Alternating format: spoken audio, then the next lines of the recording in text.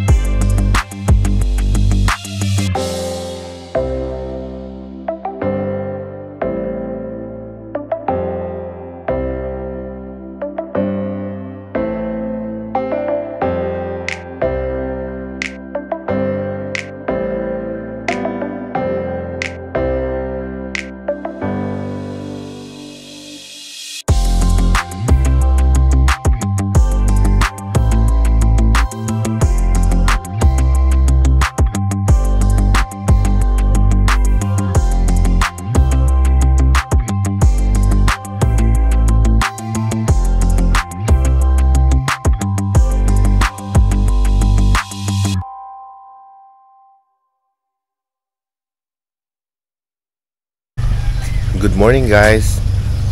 We are here today in Lambog, Cebu and we're trying out this resort in Lambog called SBG Resort.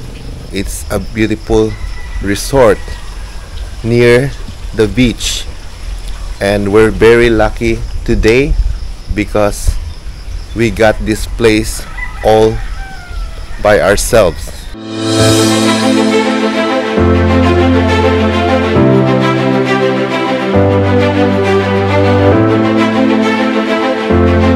Guys this place is so nice. It's very quiet. And if you wanna relax and enjoy your weekend without without any stress this is the place to be. They have a beautiful clean and clear uh, swimming pool. They have about at least five or more accommodation here but it feels like this is our own place today because th- there's nobody here. Usually, when you come to a resort, there's a lot of people, especially on the weekend. But for some reason, we got so lucky today because this is all to ourselves, surrounded with the beautiful green scenery. I think over there they have a beach area because I could see the ocean from there. And look at here, look at this place, guys. Beautiful mountain on the side, and they have beautiful garden here too.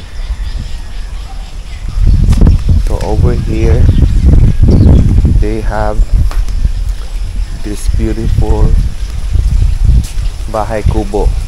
This is the parking area here, and that's the entrance from the main street to the left is going to Lambog Beach. They said it's around about five minutes away from Lambog, so it's not too far. I don't know if you're aware, but Lambog is a beautiful beach, white sand beach in the south of Cebu. Here guys, meron silang bahay kubo dito. Ang ganda. Wow, and they have a, a charging station where you can use for to charge your phone or play any music. I love this place because it's so quiet and peaceful.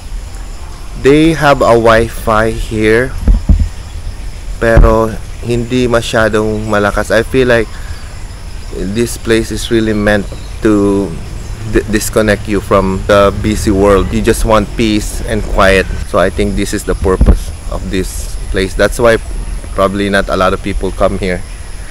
But to me, you know, I'd rather have peace than chaos. So, and guys, we're gonna have a room tour. And ayan, maganda yung design dito. Meron palang lights, guys. Oh, it's not, it's not turning on, but I think at night time, this place is lit well with beautiful, uh, colorful lights. They don't have a kitchen yet, or they're not prepared for that yet, but the restaurant in this area is about two minutes away. So we will be going there to have breakfast and also I will be bringing you with us to show you around Lam- place.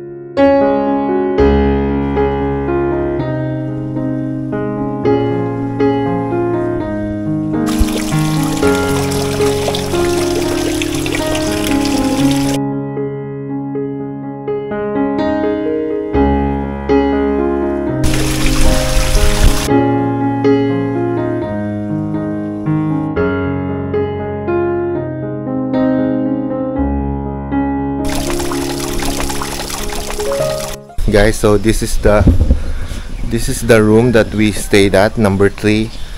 And they have like a outside table where you can hang out and chat and have some snacks coffee with your family and friends. And after swimming you have a rack here to dry your your uh, swimwear. They also have a shower area before you can swim and some and a restroom if you have to use a restroom it's right there in the corner Or else, nag, later on yung panegosyo ka. Mm. Nailang kapayas mo na mga o. oh bito Hindi is naglupa na palitrom o. Anong literal mo Oo. ko. ako yun Kuhaig mga kuan ng ano na ang kay idea unsaon kung in case oh lami hindi unsa na nila. Mm. Kaya ang mga style nila lami oh. hi Sid how are you Sid how you guys doing Abi ni muway sila home paghimo sa ilang swimming pool. Home, Mm. mura siya. Mura siya 7 o'clock in the morning and as you can see gising na yung anak ko gising na kami Uh, I will give you a quick tour sa room na nakuha namin dito sa SBG Resort in Lambog ito yung room na nakuha namin sa ano sa resort number 3 pagpasok mo there's like a cabinet that you can arrange your belongings and then to your left side ayan merong mini table uy ba't parang hindi ma Maliwanag. Merong mini table at flat screen. May working table at saka dalawang queen bed. Ayan, si Kyrie tulog pa. Knock up. Napagod sa ano. Tapos merong ah, table sa gitna para pwede ka mag mag-charge ng mga cellphone mo. Meron din mga outlet dyan. At saka merong cable TV, refrigerator sa baba. Yan. At may emergency light. Maraming um, saksakan dito guys. Pwede ka mag-charge. At saka sa mga mahilig sa mga plants dyan. Ayan. May decoration sila dyan. Ito yung view namin. Ito yung view namin sa, sa room. We're in front of the swimming pool. And then, ito naman guys. Ito yung bathroom nila right here. Meron silang mirror dito. At saka malinis yung bathroom nila. Malakas yung pressure ng tubig at merong hot and cold water.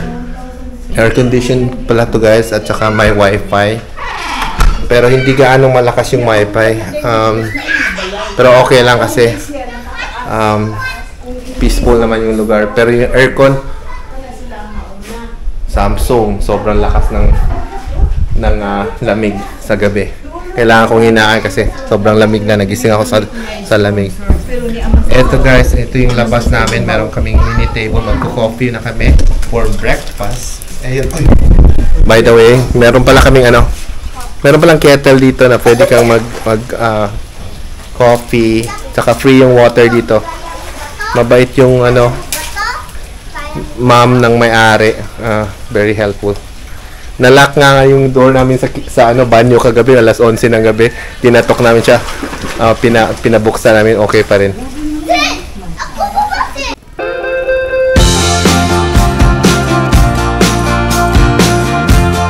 Guys, nandito na kami sa LRR Native Food.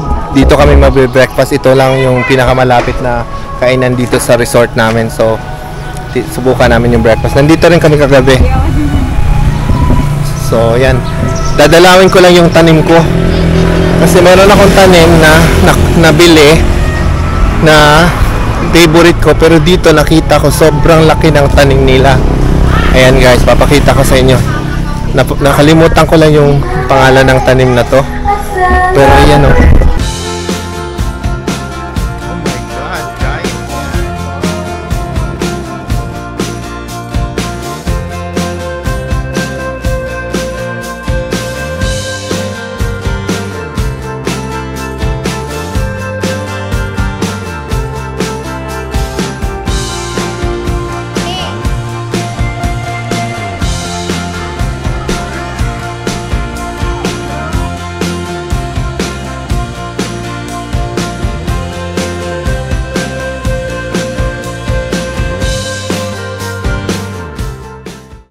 sobrang sarap ng ano dito, buko shake.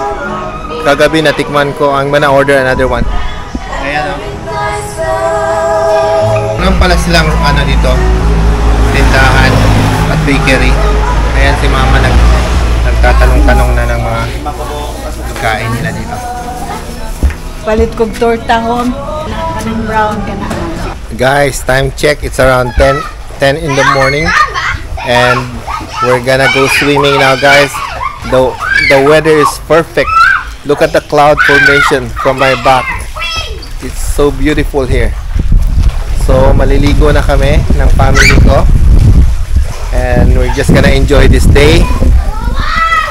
Yan.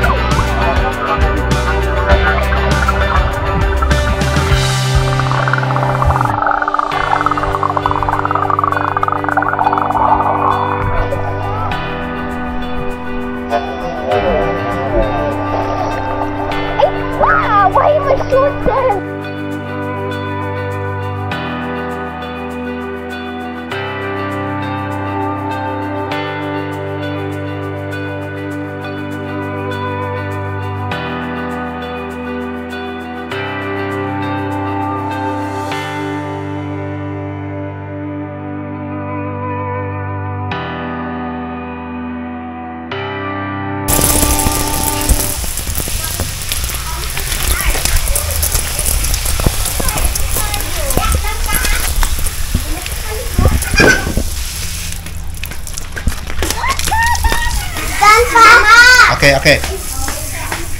Hi, Kai. How are you, Kai? Papa, did you know Fine.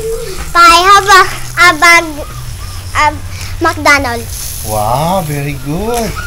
Did you win that? What's the bag McDonald? Where'd you get that from? Um, the Halloween party. Wow. Did you did you like your costume, Sid? Ah, how come you did not win? Yeah. Ko. You don't know. Next time na lang, okay? Love, nanong wala siya picture, love. Naman. Ha?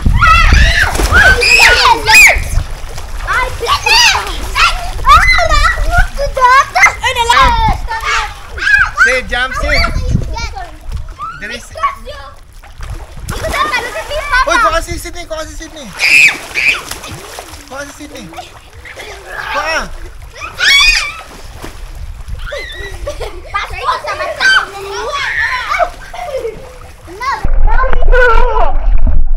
Mistake ka, one. The guard is Reverse again. Guys, I'm gonna try to jump from here. Masih mo kuha ng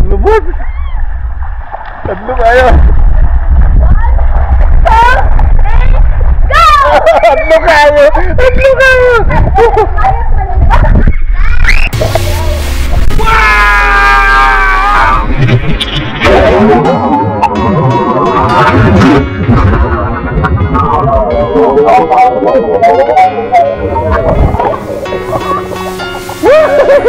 Ha ha ha ha!